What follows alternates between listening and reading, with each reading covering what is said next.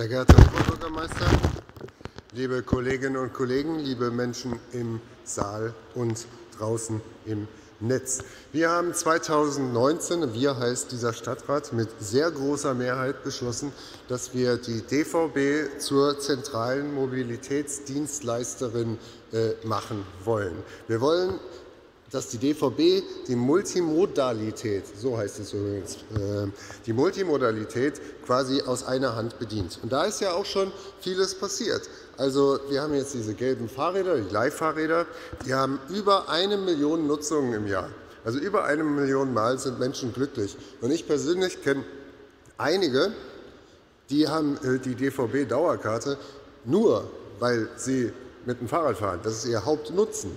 So, also von daher, das ist ein unglaublich gutes Instrument, um eine äh, ja, Bindung an die Kundin zu bekommen. Daneben haben wir äh, mit Teilauto die Kooperation und es gibt über 1200 Verknüpfungen zwischen DVB-Abo und Teilauto. Das sind also Leute, die fahren hauptsächlich mit der Bahn, aber ab und zu auch mit einem Teilauto. Und deswegen stehen die auch an diesen Mobilitätspunkten rum und deswegen brauchen wir auch mehr Mobilitätspunkte, um multimodal zu werden. Jetzt kommt mit On Demand quasi eine weitere Säule hinzu wurde schon erklärt, was es ist. Es meandern dann äh, Autos durch die Stadtviertel und äh, durch äh, geschicktes Ausrichten mit dem Computer wissen die, wo die quasi langfahren müssen, nehmen Leute auf, geben Leute wieder ab. So, äh, wir müssen das alles ausprobieren. Und deswegen hat der Bund ein schönes äh, Förderprogramm aufgestellt, das heißt Programm zur Digitalisierung kommunaler Verkehrsbetriebe. Und aus diesem Programm kriegen wir, wenn wir heute beschließen, drei Millionen Euro. So, das ist etwas mehr als die Hälfte, glaube ich, die Hälfte der Finanzierung für dieses Pilotprojekt. Und dann können wir drei Jahre lang ausprobieren, ob das funktioniert.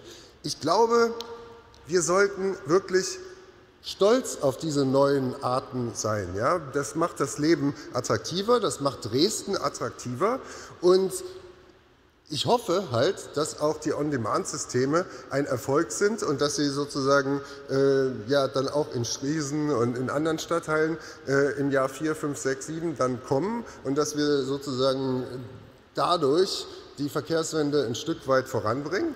Äh, wir wissen es nicht. Ich persönlich finde äh, solche On-Demand-Sachen cool und ich, ho äh, ich hoffe, dass wir heute sozusagen das auf den Weg bringen. Dankeschön.